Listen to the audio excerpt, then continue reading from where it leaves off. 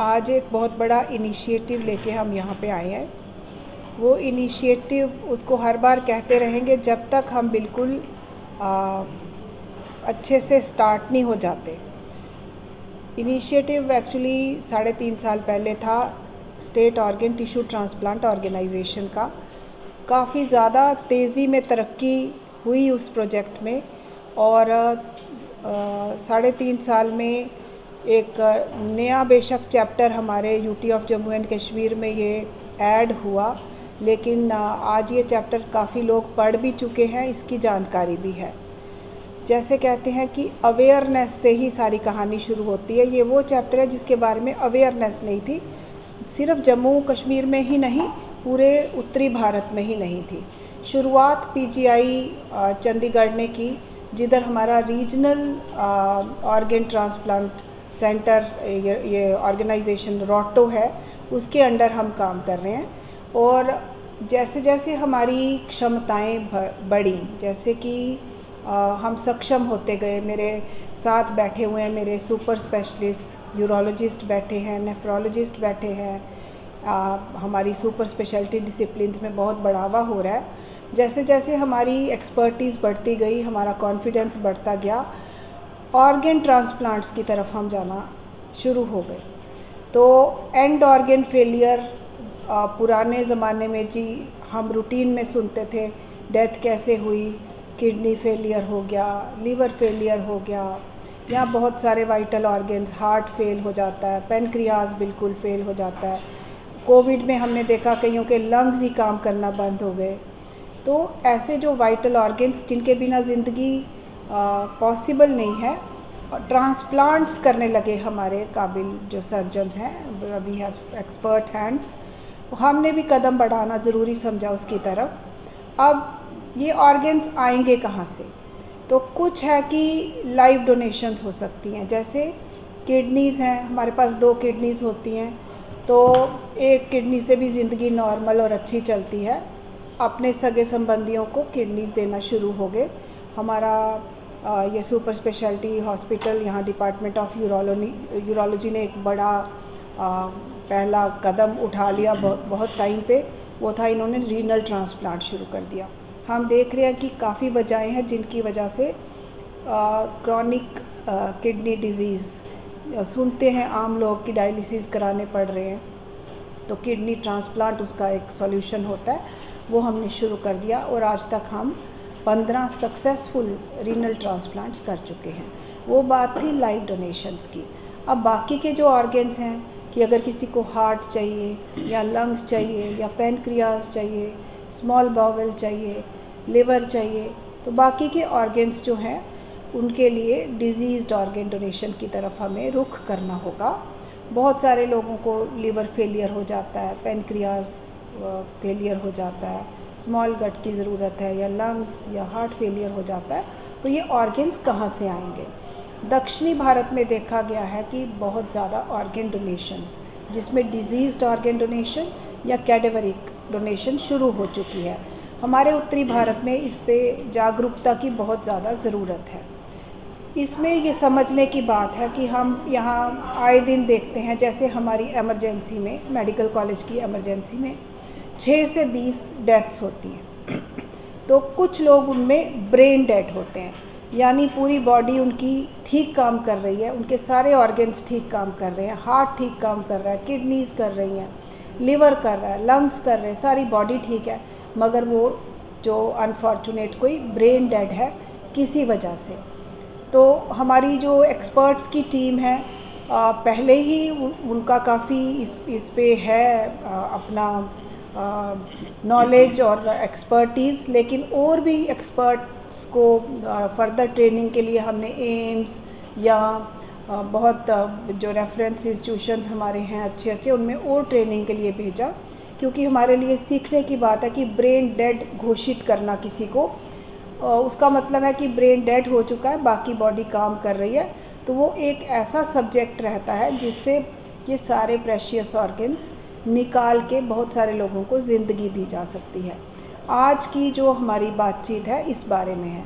बहुत मुश्किल से लोग रक्तदान की तरफ़ बढ़े। जैसे कहते हैं कि जीते जीते रक्तदान। तो अब उधर भी हमारे कदम 100 परसेंट वॉलेंट्री डोनेशन की तरफ़ जा रहे हैं। कहा जाता है कि ऐसे रूटीन में कि गॉड लव्स चीयरफुल डोनेशंस। और डोनर्स के बारे में कहा जाता है कि जो लोग डोनेट करते रहते हैं, कोई भी चीज़, जो भी उनके पास एक्स्ट्रा है या शेयर करते रहते हैं, उनकी अपनी ज़िंदगी बहुत अच्छी रहती है। डोनेशन से अपनी बॉडी माइंड ओवरऑल सिस्टम ठीक रहता है। तो रक्तदान की तो यहाँ पे काफ़ी बढ़ावा हुआ, बढ़ चढ़ कर हमारे लोग आगे आ रहे हैं और रक्तदान देते हैं। जीते जीते रक्तदान अगर हो सकता है तो जाते जाते जब अर्दली प्लेन को छोड़ते हैं हम सारे मॉर्टल्स हैं तो जाते जाते अंगदान का भी आ, हम एक ऑप्शन रखना चाहिए। जैसे कई लोग देख नहीं सकते तो आँखें नेत्रदान किया जा सकता है हर एक का नेत्र दान किए जा सकते हैं। हमारे यहाँ अपने डॉक्टर्स ने अपने आ, आ, माता पिता सगे संबंधियों के हमारी एक डॉक्टर अभी पीछे अनटाइमली डिमाइज़ हुआ, उन्होंने लिख के रखा था, उनकी नेत्रदान करके गई तो दो लोगों को वो रोशनी दे गई। ऐसे ही ऑर्गेन्स यूज़ हो सकते हैं ब्रेन डेड के। ब्रेन डेड वो लोग होते हैं जैसे रोड ट्रैफ़िक एक्सीडेंट हुआ ब्रेन इंजरी हो गई ब्रेन डेथ हो गई, बाकी के ऑर्गेन्स उनके दिए जा सकते हैं। इसके लिए हमने एक बहुत बड़ी एक्सरसाइज भी की। एक तो ये सारे ऑर्गेन ट्रांसप्लांट्स हम अपने इंस्टीट्यूशन में शुरू करना चाहते हैं। हम तेज़ तरक्की कर रहे हैं कि लीवर भी ट्रांसप्लांट कर सके यहाँ पे, हम हार्ट भी ट्रांसप्लांट कर सके यहाँ पे, हम पेनक्रियाज भी ट्रांसप्लांट कर सके। हमारे डॉक्टर्स के पास बहुत ज़्यादा एक्सपर्टीज़ है और वो करना भी चाहते हैं, लेकिन अब डोनर्स होने चाहिए।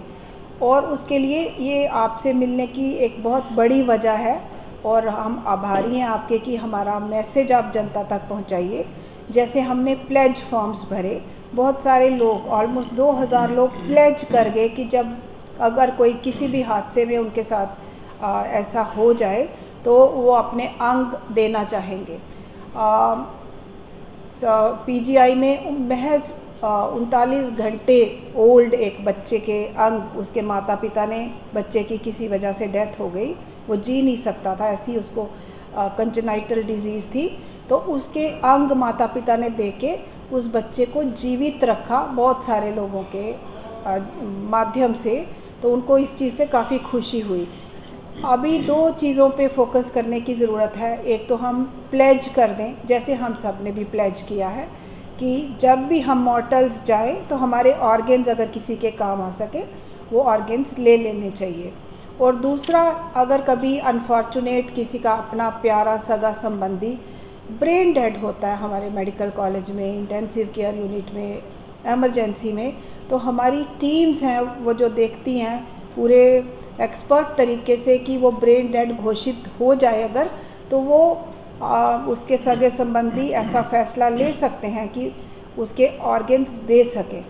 उसके लिए एक तो हम यहाँ भी ऑर्गेन्स ट्रांसप्लांट शुरू करेंगे दूसरा बड़ा कि हम हमारी सोटो हमारा state organ tissue transplant organisation, PGI Chandigarh के अंडर काम कर रही है, जो बहुत अच्छा काम कर रहे हैं पीजीआई में, हर ऑर्गेन ट्रांसप्लांट कर रहे हैं। उसको regional, north Indian regional organ transplant organisation बोलते हैं, और हम सारे नेशनल ऑर्गेन ट्रांसप्लांट ऑर्गेनाइजेशन के अंडर, नोटो के अंडर है।